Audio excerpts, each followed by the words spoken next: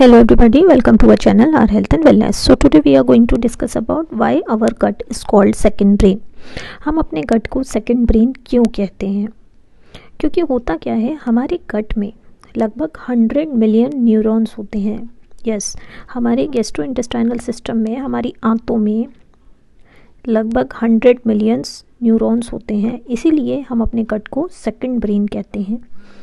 दूसरी चीज़ आती है हमारा 80 to 85 percent immune system digestive tract से ही वर्क करता है।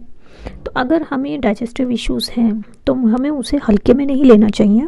पहले उनको ट्रीट करना चाहिए क्योंकि अगर डाइजेस्टिव सिस्टम गड़बड़ है तो हमारे बाकी हेल्थ इश्यूज़ का भी रीज़न बन सकता है। सो so, अगर आपको मेरे चैनल का कंटेंट पसंद आया हो तो प्लीज़ इसे लाइक करें सब्सक्राइब करें। That's all for the day thank you so much